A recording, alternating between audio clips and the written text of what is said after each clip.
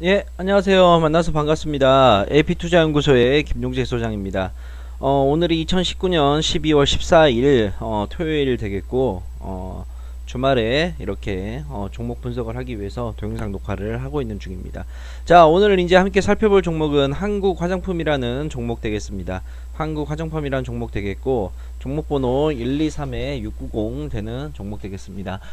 자, 금요일날 아침에 어 화장품주들이 일제히 장 시작과 함께 급등세가 나왔습니다. 뭐 나온 이유는 어, 미중 간 전날 전일 그러니까 우리 한국 시간으로 어, 전일 그날 새벽에 미국과 중국의 어, 무역 협상 1차가 완료되었다라는 소식이 나오면서 거기에 대한 기대감으로 화장품주들이 엄청나게 장 시작과 함께 상승이 나왔어요. 장 시작하자마자 뭐 쫙 바로 급등이 나오는 모습이었었죠.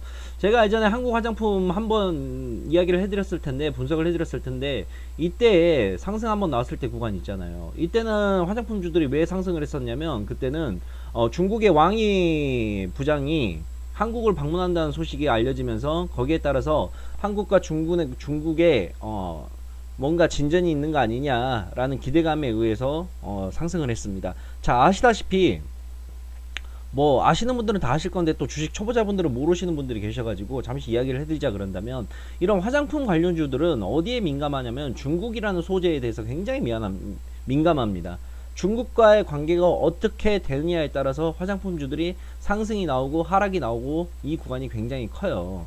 왜 그렇냐면 지금 우리가 중국하고 지금 뭐가 뭐 때문에 지금 틀어져 가지고 지금 계속 문제가 됐을까요? 사드 문제 때문에 그쵸. 몇년 전이 벌써 한 2, 3년 됐죠. 사드 문제가 발생을 하면서 중국이 야 우리 이제 한국으로 관광 안 보낼 거야. 우리 관광객들 안 보내. 라고 해버렸죠. 그러니까는 우리나라의 관광업 대부분이 어디서 옵니까? 중국에서 넘어오는 중국인 관광인들이잖아요. 뭐 얼마 전까지만 하더라도 제주도에는 한국 사람보다 중국 사람이 더 많았다는 소리가 있었죠. 그 정도로 중국의 소비 규모가 크고 워낙 사람들이 많다 보니까 관광객 규모도 우리가 생각하는 것 이상만큼 많이 들어오는 거예요. 그러면 이 중국인들이 한국에 오게 되면 한국에 뭐에 가장 꽂히느냐? 화장품에 굉장히 많이 꽂혀요. 뭐 화장품만 아니라 성형, 뷰티 등등 이런 부분에 대해서 굉장히 많이 꽂힙니다. 중국 사람들이. 그러다 보니까는 중국인들이 한국을 많이 찾아와서 한국의 주 뭐냐 화장품 자체들을 많이 이용을 하고 뭐 하게 되면 주가 상승에 당연히 도움이 되겠죠 회사 매출에. 그래서 중국과의 관계에 굉장히 민감할 수밖에 없는 겁니다. 제가 이때 상승이 났을 때 어떤 얘기를 해드렸었냐면 제 유튜브 영상에서 찾아보시면 될 거예요. 한국 화장품 분석 해놓은 거 예전 자료 보시게 되면 아실 건데 왕이 부장이 한국을 방문한다는 소식에 응? 주가가 급등을 했었어요 그러면서 제가 이때 뭐라 그랬었냐면 이게 일단 호재긴 한데 지속 가능한 구간으로 우리가 생각을 했을 때는 지속 가능한 구간까지는 힘들 것 같다. 왜 그러느냐. 아직 얘네들이 중국이 어 우리 한국에 와가지고 우리 뭐 그거를 해주는 걸 사드 문제를 완전히 어 풀어주고 우리 이제 한국에 관광객들 보내겠다라고 이야기한 것도 아니고 아직 말 그대로 전초 단계예요 전초 단계 거기에 따른 이슈에 따른 급등이 단기 급등에 불과하기 때문에 이게 형 구간에서 바로 이렇게 또 조정받고 상승이 나오고 그런 그림은 나오지 않을 거고 단기성 이슈에 움직일 거다. 그래서 가급적이면 수익을 챙기는 게 좋다라고 그때 얘기를 해드렸었습니다. 그 이후에 주가가 다시 빠지고 중국과 미국에 다시 협상 소식이 나오니까 급등하게 되죠. 보통 이런 식으로 움직이는 종목들은 크게 없습니다. 이게 보시면 상승이 나오고 나서 하락으로 나왔다가 바로 단기간에 이렇게 전고점 뚫어 나가면서 나가는 케이스는 거의 없어요. 상승 나오고 나서 이거 하고 한 2, 3주 적어도 조정 거치고 나서 움직이는 케이스는 있다 하더라도 이렇게 짧은 시간 내에 급격하게 주가가 움직이는 케이스는 굉장히 희귀합니다. 그게 가능한 이유가 바로 화장품 관련된 주식이기 때문이에요. 워낙 이슈에 민감하기 때문에 만약에 미국과 중국의 무역 협상 소식이 없었더라면 이런 차트가 나왔을까요? 절대 안 나옵니다. 다시 도로 꺾입니다. 꺾여요. 근데 지금 어찌됐건 미국과 중국의 협상 소식에 의해서 상승이 나왔어요. 다만 상승이 나왔는데 위지에서 또 매도 물량이 나왔었죠. 매도 차익 실현 매도 물량이 나왔습니다. 왜 나왔을까요? 분명히 이쪽에 매물대가 있기 때문이에요. 차트를 좀 축소를 한번 해볼게요. 자, 고점이 여기 찍었었어요. 어? 그리고 지금 밀리는 구간이 보게 되면 딱 이 구간이죠. 매물대 구간. 매물대 구간, 매물대 구간. 여기에 지금 매물대가 싹 쌓여 있습니다. 그리고 다음 매물대는 또 여기 구간에 걸려 있어요. 여기 구간에 걸려 있어요. 그래서 이 구간을 뚫어내기에는 굉장히 많은 힘이 현재 필요합니다. 그래서 이 구간을 뚫어내려면 굉장히 많은 힘이 필요해요. 그래서 앞으로 이게 추가적인 상승이 나오려면 지금 터진 거래량의 만큼이 유지가 되어줘야 된다는 건데 이 거래량이 앞으로 추가적으로 유지가 될 수 있을까라고 생각을 해봤을 때는 저는 힘들다고 봅니다. 힘들다고 봐요. 그래서 뭐 중국과 미국의 그 다음에 또 우리나라와 중국 간의 관계가 단기간에 또 이슈가 하나 나오게 된다 그러면 추가적인 상승이 나오면서 이 돌파 구간을 만들겠지만 제가 봤을 때는 그러한 이슈가 나오기 전까지는 단순히 수급에 의해서만 움직인다고 봤을 때 당분간은 고점 돌파하는 것은 힘들다고 저는 내다보고 있습니다. 그래서 제가 대응하는 전략은 가급적이면 수익 실현을 하시고 혹시나 좀 더 보시려 그런다면 어, 손절가를 3일선하고 5일, 3일선에 두고 3일선 이탈하지 않는 범위 내에서만 보유를 하시면서 화장품주들은 그렇게 봐주시면 되겠습니다. 어, 화장품은 한국 화장품은 그렇게 정리를 좀 할게요. 그리고 한국 화장품 관련해서 또 이슈가 나오게 되면 또 제가 바로 분석해서 어, 동영상 업로드 시키도록 하겠습니다. 자 그리고 제가 매일마다 어, 무료로 장중에 실시간 종목을 추천하고 리딩을 하는 곳이 있는데 어디서 보시는지 모르는 분들을 위해서 알려드릴게요. 네이버에서 AP투자연구소라고 검색을 하시면 됩니다.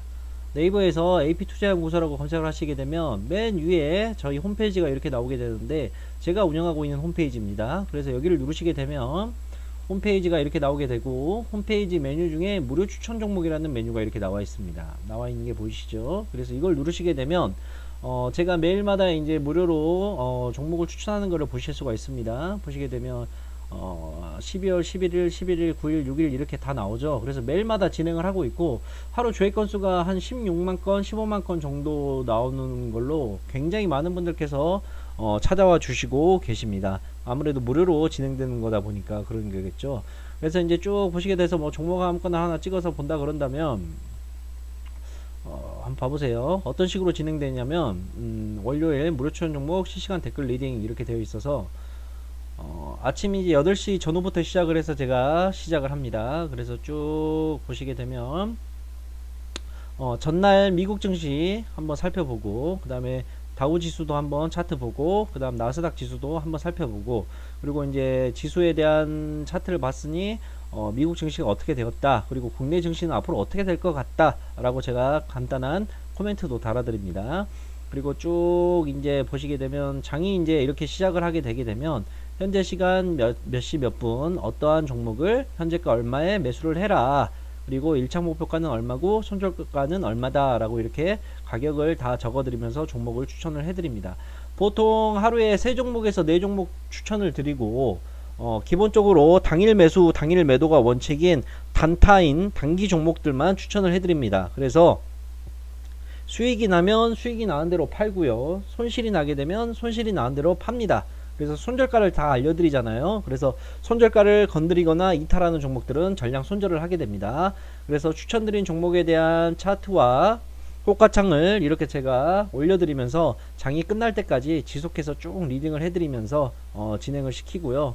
장중에 이런 식으로 시장 상황도 살펴보면서 어, 제가 코멘트를 달려 달아주고 있습니다. 그래서 장이 끝날 때쯤 되면 이렇게 추천드린 종목에 대한 어, 결산을 하게 됩니다. 어, 12월 9일 뭐 3시 20분이죠.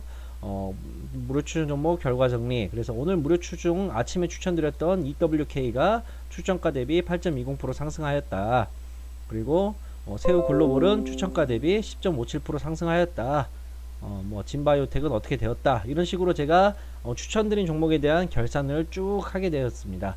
그리고 오늘 같은 뭐 12월 9일 같은 경우에는 네 종목 추천해서 네 종목 다 수익을 거두는 하루가 되었네요.